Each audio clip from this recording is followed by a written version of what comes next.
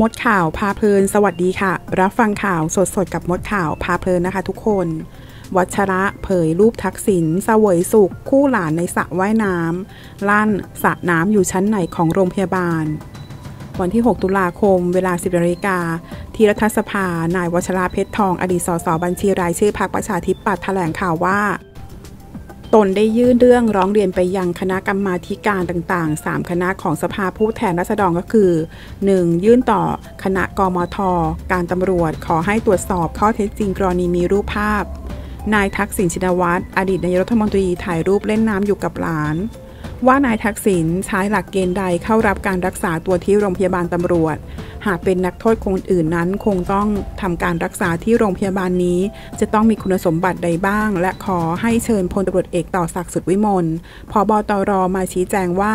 สระน้ำที่อยู่ในรูปอยู่ชั้นใดของโรงพยาบาลตำรวจ เช่นเดียวกับเสาไฟฟ้าที่ปรากฏในรูปอยู่ชั้นใดของโรงพยาบาลตำรวจด้วย 2. ยื่นต่อคณะกมท กิจการศาลองค์กรอิสระ องค์กรอายการ รัฐวิสาหกิจ องค์การมหาชนและกองทุน ขอให้สอบหาข้อเท็จจริงกรณีสำนักงานปปชแจ้ง ให้กระทรวงการคลังปฏิบัติตามคำพิพากษาศาลฎีกาแผนกคดีอาญาของผู้ดำรงตำแหน่งทางการเมืองดำเนินการกับนายทักษิณให้ชดใช้ความเสียหายที่เกิดจากส่วนต่าง อัตราดอกเบี้ย เงินกู้ยืมจำนวน 4,000 ล้านบาท ให้แก่ธนาคารเพื่อการส่งออก และนำเข้าแห่งประเทศไทย ว่ากระทรวงการคลังได้ดำเนินการหรือไม่อย่างไร และปัจจุบันดำเนินการถึงขั้นใดตอนใด 3. ยื่นต่อคณะกรมทการเงิน การคลังสถาบันการเงิน และการตลาดการเงินขอให้พิจารณา สอบหาข้อเท็จจริงกรณี ผู้สอบบัญชีตรวจพบธุรกรรมการเงินของบริษัทสตาร์คอร์ปอเรชั่นจำกัดมหาชน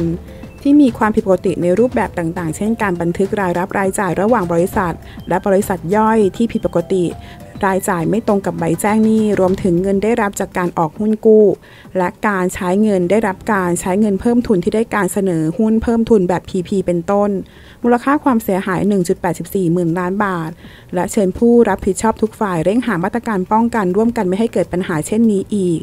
เพราะสร้างความเสียหายแก่พี่น้องประชาชนจำนวนมาก และไม่ทราบว่าที่ปรึกษาของนายกที่เพิ่งได้รับการแต่งตั้งจำนวนสีรายมีส่วนเกี่ยวข้องด้วยหรือไม่ ขอขอบคุณข้อมูลจากสยามนิวค่ะ ถ้าเพื่อนๆชอบคลิปนี้ฝากกดไลค์และกดกระดิ่งติดตามเพื่อเป็นกำลังใจให้ช่องมดข่าวพาเพลินด้วยนะคะ ขอบคุณค่ะ